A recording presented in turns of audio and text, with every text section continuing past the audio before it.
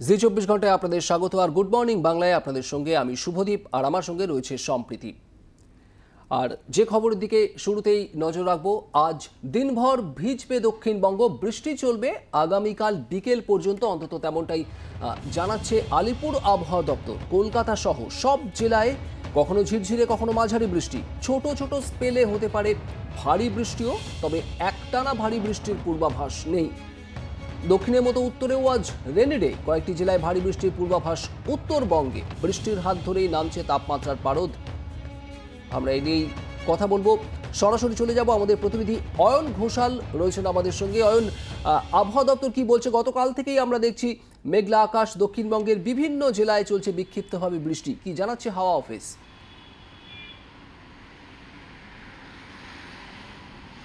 সুপ্রভাত। কাল থেকে আজকে বৃষ্টির পরিমাণ সামান্য বেড়েছে। আগামী চব্বিশ ঘন্টায় বৃষ্টিপাতের পরিমাণ সামান্য বাড়বে। নিরবিচ্ছিন্নভাবে বৃষ্টি হবে, যাকে আমরা পরিভাষায় রেনি ডে বলে থাকি। তবে এই বৃষ্টি অন্তত কলকাতা এবং দক্ষিণবঙ্গের জেলাগুলিতে কখনোই ভারী থেকে অতি ভারীর পর্যায়ে পৌঁছবে না। জঙ্গলমহলের কয়েকটি জেলা, পুরুলিয়া, বাঁকুড়া, ঝাড়গ্রাম, পশ্চিম মেদিনীপুর বাদ দিলে অন্যান্য জায়গায় বৃষ্টিপাতের পরিমাণটা হবে ঠিক এরকমই। এখন যেখানে দাঁড়িয়ে রয়েছি, টিপটিপ করে বৃষ্টি পড়ছে। এই বৃষ্টির ঘনত্ব বা ডেন্সিটি হয়তো আরও সামান্য বাড়বে, তার বেশি কিছু নয়। আগামীকাল এই বৃষ্টির পরিমাণ এবং ঘনত্ব আরেকটু বাড়বে। উত্তরবঙ্গের ক্ষেত্রে দার্জিলিং, কোচবিহার, আলিপুরদুয়ার এবং কালিম্পং এই চারটি জেলাতে ভারী বৃষ্টির পূর্বাভাস রয়েছে। তার ঠিক নিচের যে জেলাগুলি রয়েছে, অর্থাৎ জলপাইগুড়ি, দুই দিনাজপুর, মালদা, মুর্শিদাবাদ, সেখানে মাঝারি বা হালকা বৃষ্টির পূর্বাভাস রয়েছে। তবে আবারও বলছি, বৃষ্টি চলবে আগামীকাল বিকেল পর্যন্ত এবং সেটা চলবে কার্যত নিরবিচ্ছিন্নভাবে অর্থাৎ অয়ন যে বৃষ্টিটা দেখছি আমরা, গতকাল থেকেই বিক্ষিপ্তভাবে দফায় দফায় হালকা মাঝারি বৃষ্টি চলছে। আগামীকাল বিকেলের পর এই পরিস্থিতির বদল ঘটবে, বৃষ্টি কি থামবে? হ্যাঁ অবশ্যই। কলকাতার আকাশের এই মুহূর্তের যে ছবি, এই ছবি কিন্তু আগামীকাল বিকেলের পর থেকে আর থাকবে না।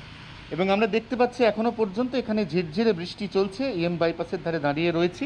এবং সেই বৃষ্টি আগামীকাল বিকেল পর্যন্ত চলার পরে একটা সাময়িক বিরতি হবে এবং সেই বিরতির পরে মাঝের দুদিন আবার একটু আর্দ্রতাজনিত অস্বস্তি বাড়বে একটা ঘাম প্যাচপ্যাচে পরিস্থিতি তৈরি হবে। সোমবার বা মঙ্গলবারের পর থেকে আবার বৃষ্টি হবে এবং সেই বৃষ্টিও দু থেকে তিন দিন স্থায়ী হবে। এভাবেই অন্তত জুলাই মাসের পাঁচ থেকে সাত তারিখ পর্যন্ত আমাদেরকে চলতে হবে। জুলাই মাসের সাত তারিখের পর থেকে একটানা বেশ কয়েকদিন রেনি ডে, ঝিরঝিরে, মাঝারি, হালকা বৃষ্টি। রেনির যে অ্যাকচুয়াল স্পেলটা এটা আমরা জুলাই মাসের প্রথম সপ্তাহের পর থেকে আস্তে আস্তে এনজয় করতে পারব। ধন্যবাদ অয়ন ঘোষাল। আমাদের প্রতিনিধি ছিলেন আমাদের সঙ্গে সরাসরি। কখনো ঝিরঝিরে, কখনো মাঝারি বৃষ্টি, আর এই বৃষ্টির পর্ব চলবে আগামীকাল বিকেল পর্যন্ত। দক্ষিণবঙ্গে হালকা থেকে মাঝারি বৃষ্টি, তবে উত্তরবঙ্গের চারটি জেলাতে ভারী বৃষ্টির সম্ভাবনার কথাই জানাচ্ছে হাওয়া অফিস।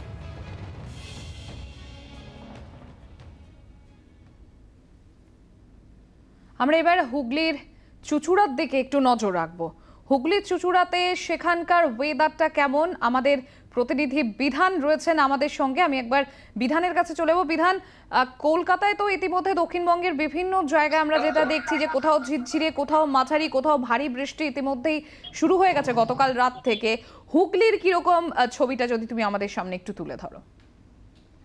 দেখো, সম্প্রীতি গতকাল রাত থেকে বৃষ্টি শুরু হয়েছে। আবহাওয়া দপ্তরের যেমনটা পূর্বাভাস রয়েছে হুগলি জেলার সর্বত্রই বৃষ্টি হচ্ছে। খুব ছোট ছোট স্পেলে ভারী বৃষ্টি যেমন হয়েছে, আবার মাঝারি বৃষ্টিও হচ্ছে।